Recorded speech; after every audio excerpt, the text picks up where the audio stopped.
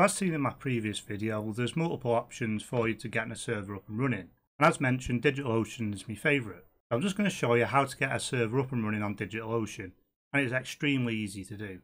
I'll pop a link in the description to DigitalOcean, and that's an affiliate link, and that'll give you some credit so you can try this out completely free.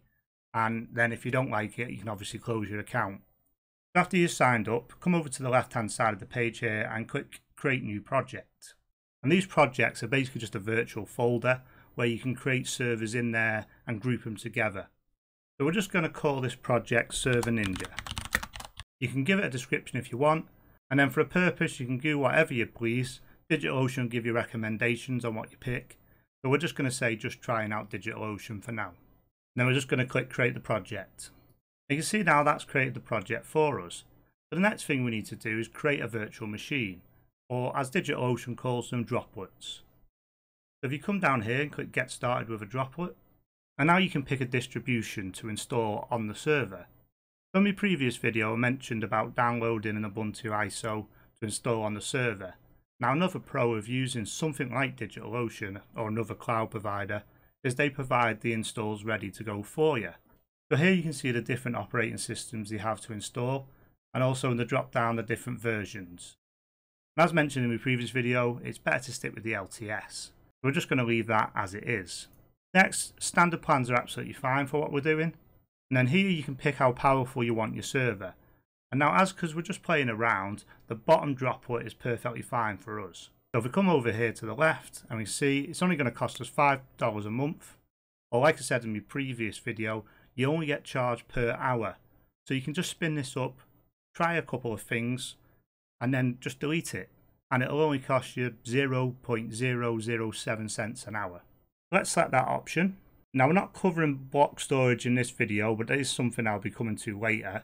And then the data center region, you just pick whatever's closest to you. So I'm in the UK, so it makes sense to me to pick London. Now these other options, we don't really need these. So we're just going to leave these for now.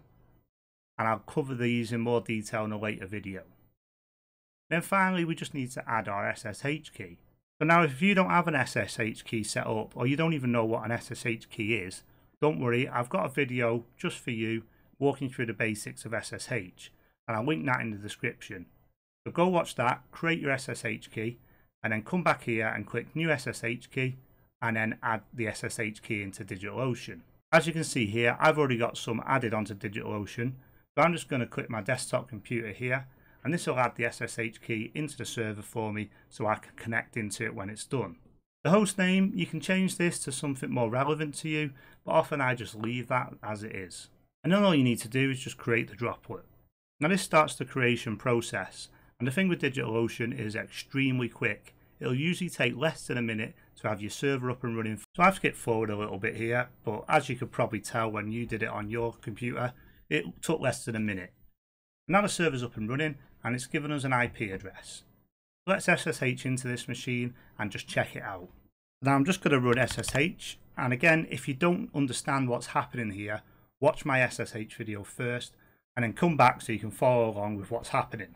So we're going to type SSH in the space and then we're going to log in as the root user because that is currently the only user that is on the system because it's a brand new system. So we're just going to type root and then an at and then paste in our IP address and then we're just going to hit enter on this.